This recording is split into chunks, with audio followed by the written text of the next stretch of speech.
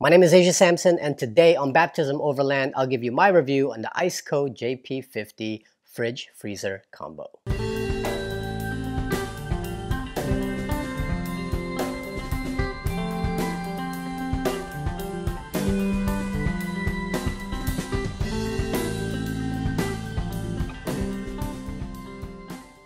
I don't know if you watched the video that I uploaded before this one, but in that video, we did a 40% delete in the back seat of a Jeep JK. Took out the small seat, built a platform for this Iceco JP50 fridge. If you haven't seen the video, go check it out because I'm really super proud of that build. It was a clever way of mounting this fridge inside the vehicle. But now that we have that thing installed and we can now put the fridge in there, I just kind of wanted to give you guys my review of the Iceco JP50 fridge. Now I already recorded that review earlier because I thought I was just going to add it to the build video, but the build video turned out to be too long that I decided I'm just going to make the review a separate thing. So let me just go ahead and rewind and take you to that review right now.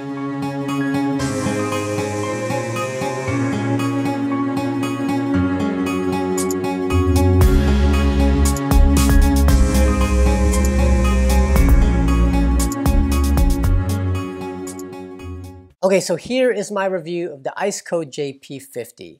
I will let you know the specs, I'll tell you what it can hold, what it comes with, and I'll also tell you the things that I liked and maybe some of the things that I didn't like so much. Alright, so what does it come with? Well, out of the box, obviously, you get the fridge. I love the design of this fridge. I think it's just simple. It looks great. It doesn't scream out at you. I love the color schemes. It'll match anything. Dark grays, light grays, blacks, whites. I love also how the logo is just super simple. I'm a branding guy, so I like things with really nice logos. In fact, I tend to gravitate towards gear with nice logos. And I know it has nothing to do with how well the product works, but I'm just weird like that. Like something can work really, really well, but if their logo is ugly, I won't want it. I know. But I think the Iceco logo is super nice. It's super simple, no flash. It's just right on the side and it won't scream out at you. But the whole design is the same way. On this side, you have a handle. The handles are great. They actually snap. So it's hard. And I know that it might loosen up eventually, but this thing is solid. But you do have to screw these in. When you get the fridge, these will not be attached. You need to go ahead and screw these in. They're very, very simple. There's already holes in there and you just mount this up. Now, I really like the control panel interface on this fridge. It's clean, it's sleek, and it's very pared down, which makes this super simple to operate because you don't have a lot of buttons you have to deal with. There's only four buttons on this thing. Starting on the left, you have your on-off button, which obviously will turn the unit on and off. Next to that, you have your Max Eco button, and you press that depending on which mode you want. Having it on Max will allow you to cool the unit a lot faster, but if it's already cool, go ahead and put it on Eco so that it's not drawing too much power. And then on the other side of the LCD screen, you have your minus and plus buttons, which will allow you to set the temperature. Now on the same side as your control panel, you have your power input. And this is basically standard no matter what kind of portable fridge you buy. On the very left, you have your AC power input. This is if you want to plug this in your house, keep it in the house, or just use your house to power this thing up, cool it down, and then move it to your vehicle. That's where you would plug that. Next to that, you have your fuse. This one comes with a 15A fuse. It's a standard automotive fuse. If that ever breaks, just pull it out, put a new one in there. But that one's 15A. Next to that, you have your DC input. This is what allows you to use your vehicle to power this thing. One end goes here, and then the other end of this plug goes to a 12 volt socket. And then next to that, you have a toggle that goes from medium, high, and low. What's great about this is that this ensures that this thing won't kill your battery. So you choose the threshold that you want, whether that's medium, that's high, or that's low, and I'll give you the specs on that in just a minute. Next to that, is the air vent, and inside that air vent is the heart of the system, which is a SECOP compressor, which Iceco boasts to be one of the best compressors you can get for a fridge. And they use the best parts to make sure that this thing will last you for a really, really long time. Now, inside the fridge, you have a wire basket that is completely removable, which I love. That way, you can just fill this up with food, and then when you need something later, you don't have to dig through the whole fridge to see if it's at the very bottom. You can just remove the wire basket and you can look around and see where everything is. It also has a divider for it so that if you want to divide your items even more, you can do so. Just slide this in there and then you'll be able to divide it or not even use this at all and just use this as one big unit. But I like that it can divide. I'm a very OCD kind of guy, so this will work just fine. put all your food in there, and then drops really nicely. Now with the fridge, you're going to get three power cords. The first one is your DC power cord. This is what allows you to plug this into your vehicle. This one goes into a 12 volt socket and this one goes to the fridge. Next to that, you have your AC power cord. This one goes to the fridge and then this one goes to a standard socket inside your house. And then finally, you also get an extension 12 volt socket. This is cool because then if your 12 volt socket is too far away for this thing to reach, then you can just plug this up, use this extension cord, put this anywhere in the vehicle and then you can just plug your fridge directly to this. So I think it's good that they included this with the kit. A lot of companies don't offer an extension like that. You have to buy a separate kit, but this one comes with it. So I think that's a plus for ICECO. And then obviously you also will get your instruction manual and a quick start guide. And that's it. That's what comes with this thing. Oh, that's not all it comes with. It also comes with a cover. I mean, how awesome is that? Not many companies will give you a cover with their fridges. In fact, some companies you have to buy the cover separately. But ICECO actually provides you with one. And this is great because now this cover will help keep this thing protected. Not only will it keep it from getting scratched up, dented, but because it's insulated, it'll also keep the temperature much cooler in here so that it's not drawing too much power trying to keep a certain temperature. So glad they got us a cover because now I don't have to go buy one for this thing.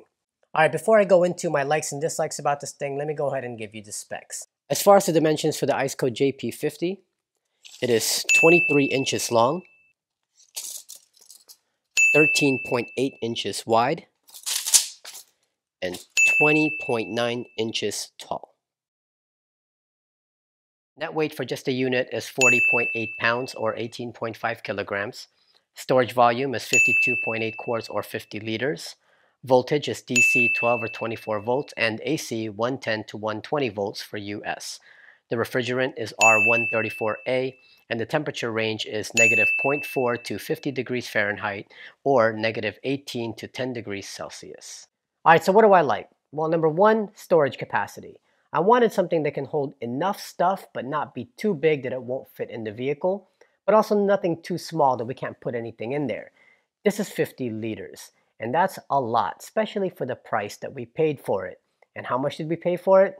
$529.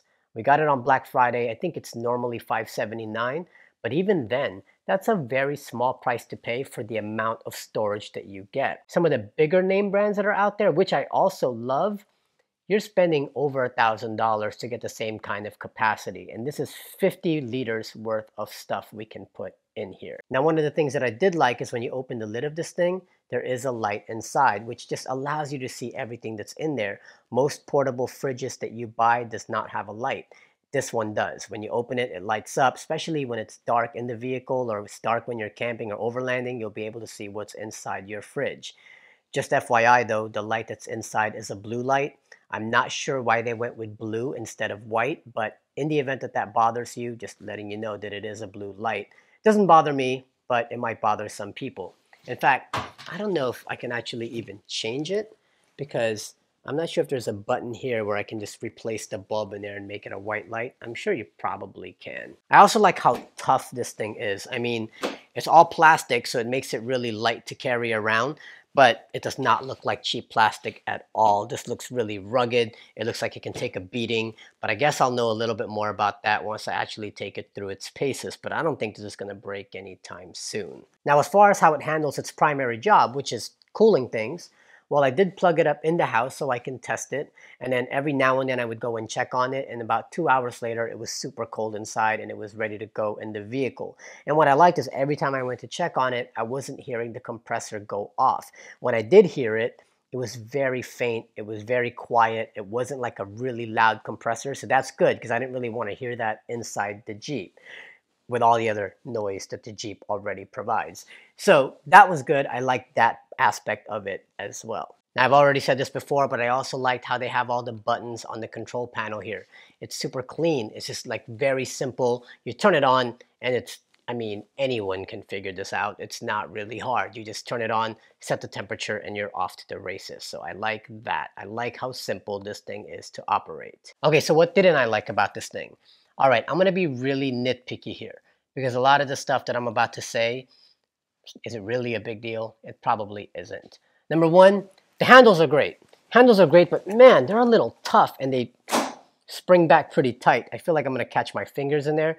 Now that could just be because this thing is super new. Now I'm sure after a while, once we've been using this thing a lot, this thing will start to loosen up and it won't feel so tight like this anymore. So that's just one thing, but that's not a big deal. I'm barely ever really gonna hold this there anyway. And maybe having it tight like this is actually a good thing so that when I put the straps in, then it won't like just come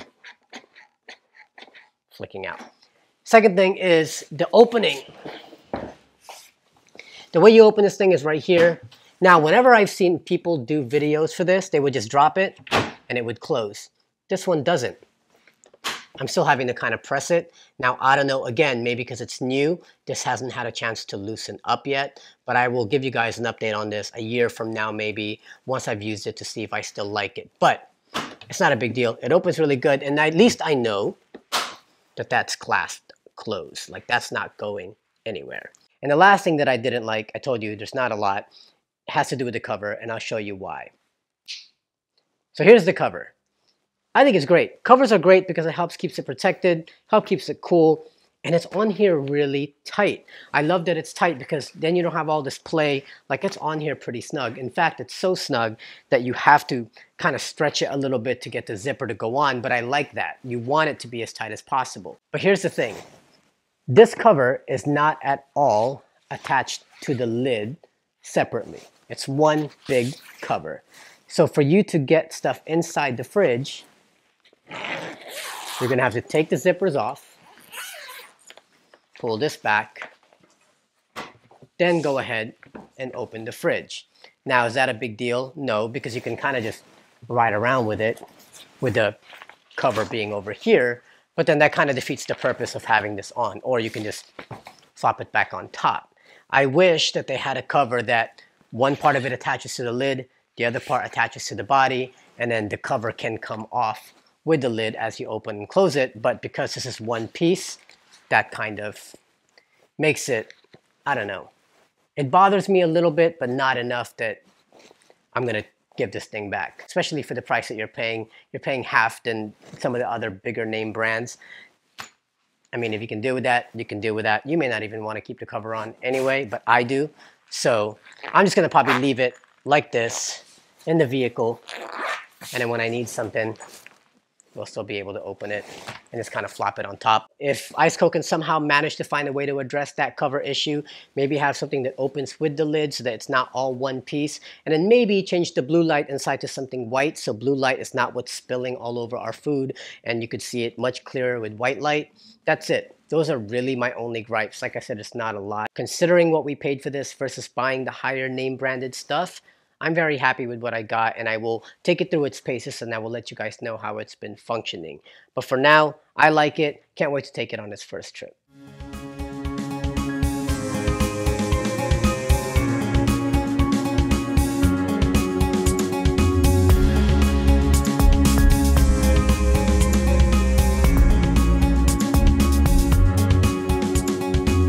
Anyway, that was the review of the Iceco JP50 fridge. I hope you found it informational.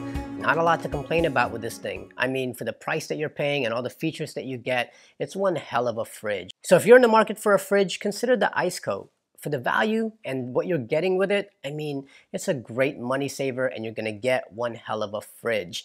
I know that there are other companies out there, I won't say their names, who are staples in the overlanding community and if I had the money, I would probably have gone with one of them. But there are just so many mods that I still want to do on the Jeep that I am trying to get the best value for the buck. Not talking about cutting corners, not talking about buying cheap stuff. I'm talking about buying quality stuff. And Iceco, great quality. I mean, you could watch all the reviews, and a lot of people do not have any complaints about this thing at all. So check them out. It might be a good fit for you. If you found this video informational, don't forget to like this video, subscribe to our channel, and don't forget to follow us on Instagram at Baptism Overland. My name is Asia Sampson, and I will see you next time.